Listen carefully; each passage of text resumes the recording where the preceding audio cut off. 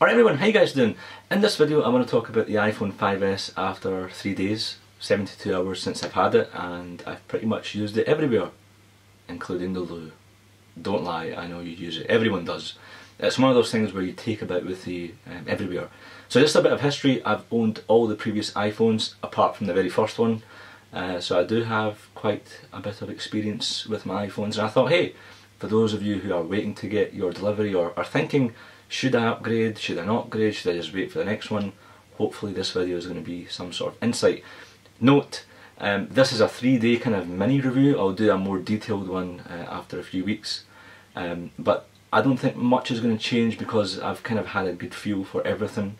Um, it will just be a more of an elaboration or I could be wrong. Um, but I'm going to discuss all these topics on screen in this order so if you want to skip to any particular section you can just use the YouTube video player scroll bar to do so. So design, if you have an iPhone 5 and you're upgrading to the 5S purely because of design, then you should probably locate the nearest wall and put your head against the wall back and forth and repeat this several times because the iPhone 5 and the 5S are both exactly the same in terms of design. Um, all that's changed is the colour options and even when you go out and get a 5S they kind of flog you leather cases which hide the colour. Um, so if you're going to get it on design, it's exactly the same as the 5, which is gorgeous by the way. Um, but don't base your decision entirely on design. So battery life, um, coming from the iPhone 5, it is possibly a tiny bit better, not enough for me to say yes, go out and get it purely because of battery life, because it's great. It's not that great um, come the iPhone 5S. Um, I was kind of disappointed in this because this is one of the main things that I wanted in this new kind of reiteration of the iPhone and it's not there. Um, I would have happily sacrificed some of the other features for more battery but it's not happened so again it's disappointing on this front and yes I have calibrated the battery and put it back up and down and uh, no joy. So the speed and the processor, of course the iPhone 5S, uh, the new one is using um, an A7 chip, 64 bit and so on.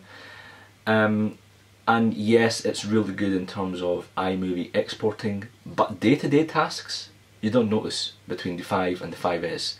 And I think partly to blame for that awesomeness is iOS 7 because that is snappy anyway, coming from an iPhone 5. And um, so day-to-day -day things like loading applications, writing emails, messages, opening up applications, um, it all seems to be bang on perfect. I'm not a gamer so I can't comment on the gaming front and maybe that's kind of a downside here. Uh, but I don't play games so uh, hopefully I'll try and do some Infinity Blade gaming tests and so on. Um, but in terms of iMovie uh, and exporting, so if you kind of create a lot of videos, family videos and you're always on the go, um, I've yet to find someone who uses iMovie quite a lot. But if you are one of them, um, then it is double the speed from the 5, which is great. And I think come you know a few months down the line when app uh, app developers have had more time with it, I think over time it'll get better. But it's not an essential right now.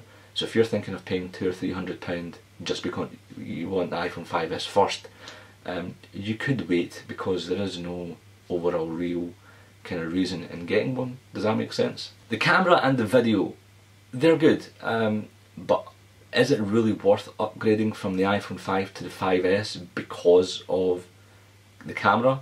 No, yes it's got a better aperture, you know, it's better in low light sensitivity and it performs better, but it's much one of those things where it's not essential to have, it's kind of okay to have.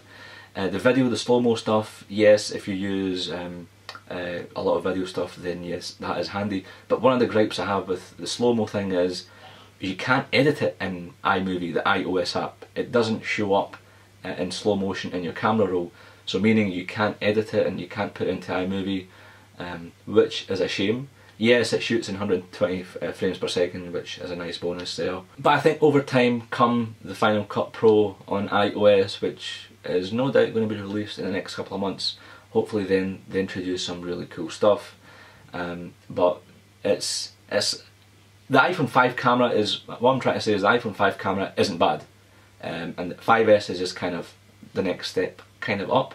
But it's it's not much of a thing saying that, yeah, I'm going to buy an, uh, an iPhone 5S because of the camera. So in terms of Touch ID, I must say I'm one of those few that doesn't use a passcode. So if you ever see me in the street and jump me and steal my phone, it's kind of Christmas for you. Um, so I was using Touch ID since I've got the 5S and it's a nice feature to have but it's for those ladies, lazy sods. That's the best way to describe it. It's nice. In terms of actually using in iTunes, I've had a few issues where it doesn't recognise your thumbprint or it always for some reason gives you an error uh, initially. Um, so hopefully over the next couple of days or even weeks um, it will be ironed out. And probably one of the most awkward situations for Apple occurred yesterday where Touch ID was hacked.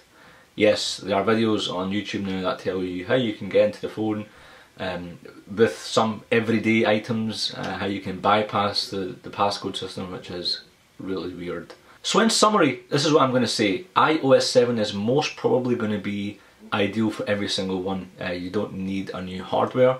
iOS 7 is going to make your system, but your iPhone, uh, a bit more responsive. It will just give it a new look. Um, the hardware side to things, especially if you're coming from a 5, don't, is my opinion. Wait for the iPhone 6.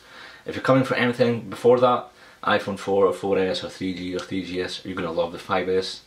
Um, but if you're coming from 5, don't expect to be wowed uh, because essentially you're holding the same device and yes it's got these tiny features but I think at the moment with 64-bit apps it's going to take time.